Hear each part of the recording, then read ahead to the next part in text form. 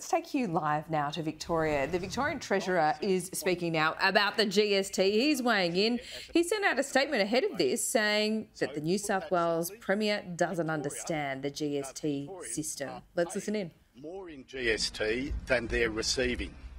Um, and indeed, uh, if you look at the new system plus the no worse off guarantee that the Commonwealth is putting in place, uh, so the system in its pure form that the Morrison Turnbull government put in place generates 96.5% return to the state of Victoria.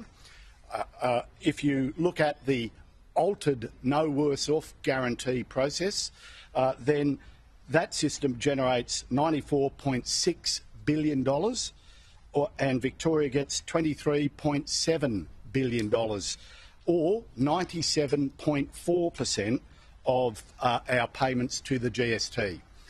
I know there's a lot of math in this, but put simply, we're getting less than 100% in GST returns. Uh, but unlike the New South Wales Premier, we're not being churlish about it. Uh, we don't have this dripping sense of entitlement that seems to constantly come out of New South Wales, uh, that if they're not being uh, basically given preferential treatment, they uh, cut up rough about the consequences. We say 97.4% is not a bad return to Victorians.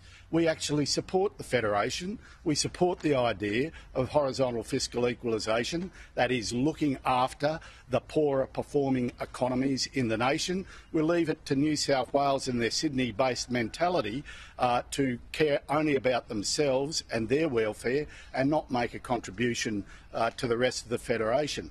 Uh, from our perspective, the idea that uh, uh, the system as it would have applied had Scott Morrison and uh, Malcolm Turnbull not put in place this policy atrocity uh, of the West Australian floor price, it would have generated $88.4 billion, $0.5 billion, and, and Victoria would have got 104% on our GST. So we would have actually got a very substantial return.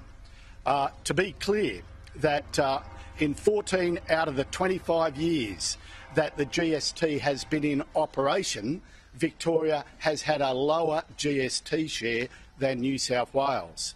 But one thing for sure, New South Wales' pref preference and privilege doesn't stop there because for the last five years, Victoria has received on average 60% of uh, uh, our entitlement, that is our population share, of allocations for infrastructure.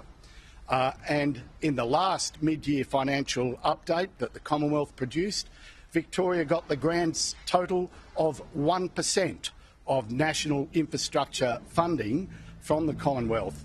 Uh, but uh, of course, we didn't hear much bleating from New South Wales at the time. And the reason being, New South Wales has always been privileged in terms of their entitlements from the Commonwealth, because what they lose in terms of GST share, they make up in national infrastructure allocations. Uh, that's the Commonwealth's way of looking after their mates in Sydney.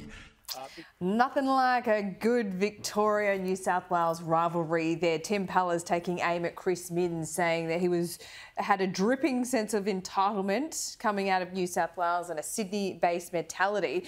Well, this this came after a statement from Tim Pallas as well. And Chris Minns uh, responded at a recent media conference. I'll tell you what he had to say. He was asked about this statement. He said the only thing worse than Victoria taking New South Wales GST dollars was them whinging about it the next day. So it is game on here.